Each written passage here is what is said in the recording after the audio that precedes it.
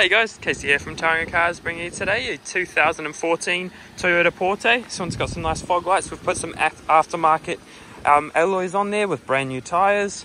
Now this one's a weird one. It's actually got a slide door on the passenger side. It has both doors. It is electric, which is really good. It's got fantastic access to, to the passenger seat there as well as uh, reasonably good access to the back seat as well as being able to lay the seat down and um, slide it right forward there so you have even better access to the back. It makes it a bit nice and good for, you know, if, if you're having some trouble getting in and out of the vehicle, you can slide this one actually right back also.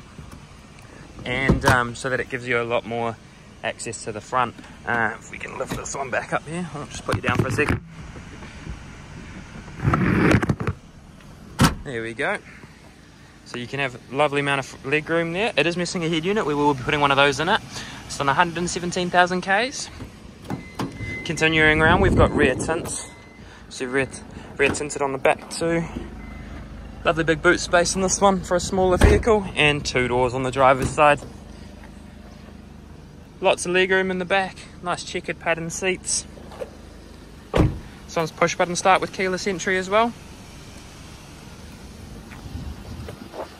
Come down and check it out.